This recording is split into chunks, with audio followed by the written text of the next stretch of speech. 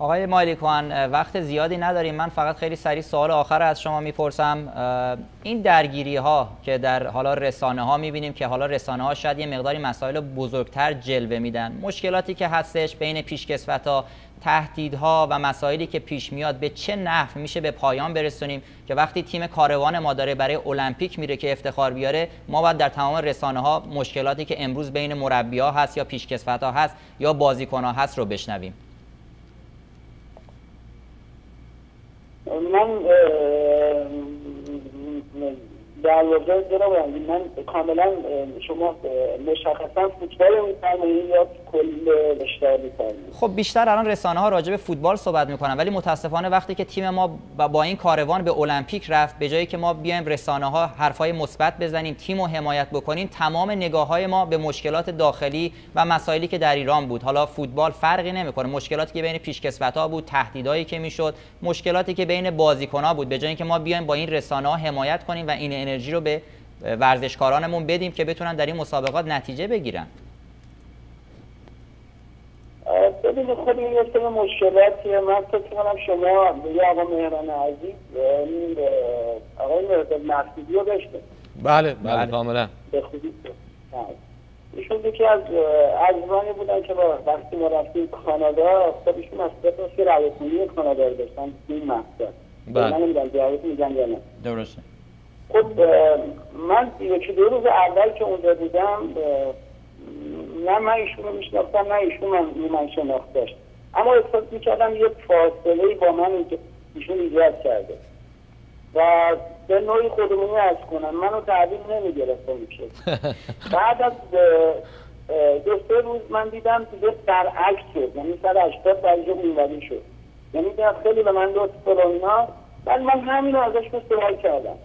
گفتم چه اتفاقی افتاده؟ خب من همون آدمم. گفتش که تو کشور ما چی میگذره؟ چرا خیلی چیزا رو وارونه می‌کنن و گفتم من گفتش تا قبل که تو بیا اینجا یه سری صحبت من تو مطبوعات داخل کشور عزیزم میخوندم که مثلا شما اینجوری اینجوری.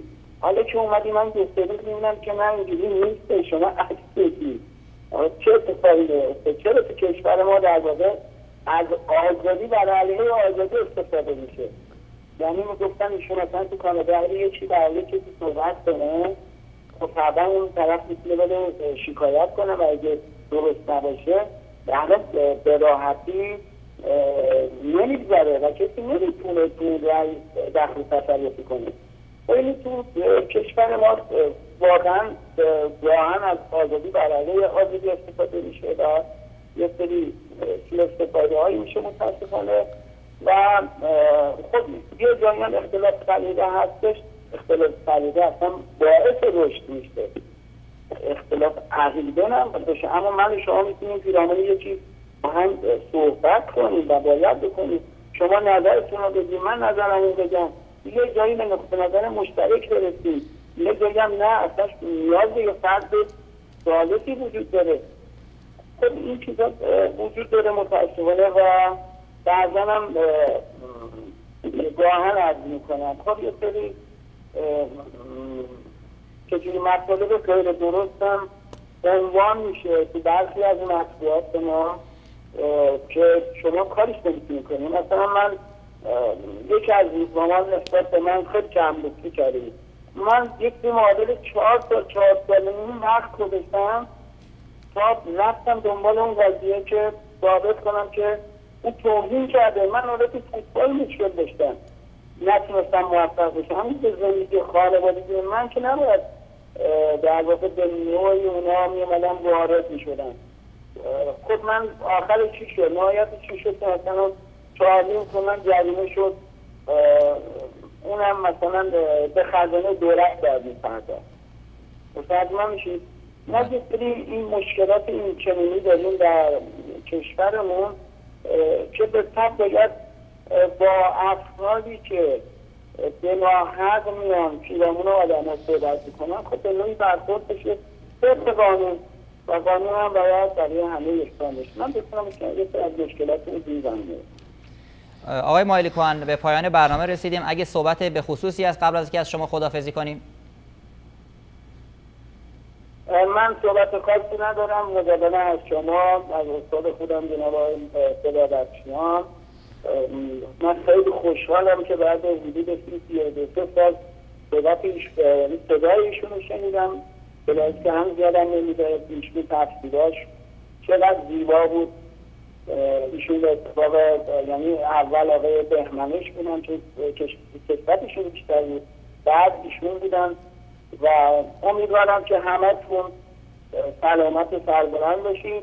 و یه روزی من یعنی خب من یه دفعه خطاب خدا باشون صحبت چیز هست کردم یه سری از اینجا خبر برای شما میاد. چون شما دورید اینها منطبق با واقعیت نیست یه سری خبر هم اونجا ممکنه بیان اینجا منطبق با واقعیت نباشه. من امیدوارم که می‌دونم شما دلتون میتبه برای کشور عزیزتون انشالله شما هم تشریف بیاریم اینجا. بدونیم که مشکلی نیست. سلامتون رو چشم و شما رو اینجا زیارت کنیم. هممون دست به دست هم بدیم که ایران رو بسازیم به معنای واقعی بسازیم. و ایران عزیزمون همیشه سربلند باشه و آقای مالکان ایرانی هر کجای دنیا باشه عاشق ایران هستش. همونجوری که اشاره کردیم ما زحمت زحمت هایی که شما برای باشگاه ایران برای فوتبال ملی ما کشیدین فراموش نمی کنیم. به عنوان نماینده همه ایرانی ها از شما تشکر می کنیم. آرزوی سلامتی و موفقیت برای شما داریم. قربون شما برم.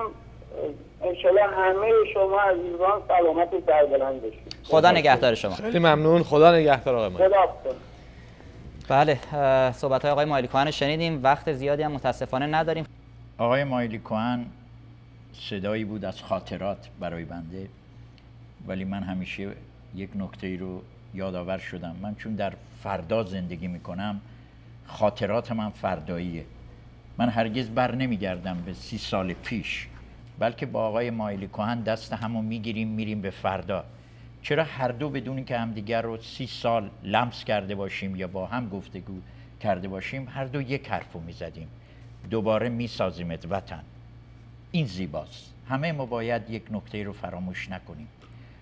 من هرگز فکر نمی کنم به ایران برگردم. من الان اصلا مسافرت هم نمی کنم ولی فکر می کنم تعهدی دارم.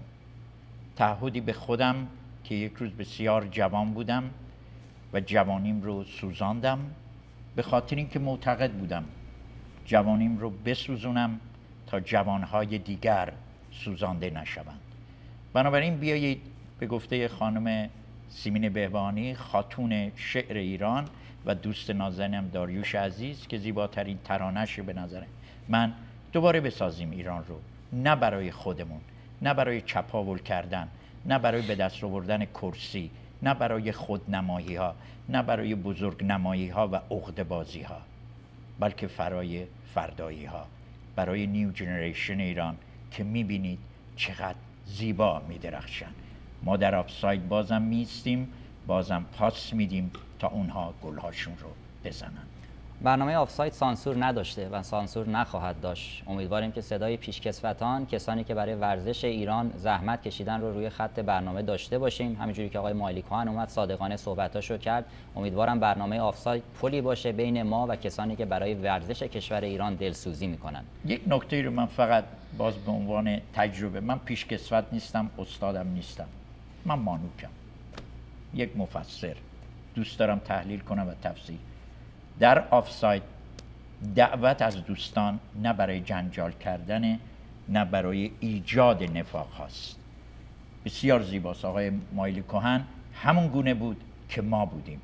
آفساید شکم بود خط شکم بود خطا رو شکافت و همونجوری که مهران نازنین و رندی عزیز گفتن ما به آقای مایلی کوهن احترام می‌ذاریم. نه فقط به عنوان یک توپچی یکی از ستاره های فوتبال پرسپولیس تیم ملی یا مربی. به خاطر صداقتش با باورهایی که داره. همونجوری که اشاره کردم امیدوارم آفساید برنامه آفساید پلی باشه بین ما و تمام کسانی که تو ایران زحمت کشیدن برای ورزش فرقی نمی‌کنه. بتونن بیان و این دلسوزیشون نشون بدن که ما بتونیم با انتقادایی که شاید این پیشکسوت‌ها می‌کنن ورزشمون رو بهتر بکنیم که بتونیم در مسابقات نتیجه بگیریم. تشکر می‌کنیم از الکس محمد رضا آرای عزیز در اتاق فرمان بچهای فنی. تشکر از شما که اجازه دادین برنامه آفساید مهمان خانه شما باشه. همه شما رو دوست داریم. تا فردا به خدای بزرگ میسپاریم. I love you.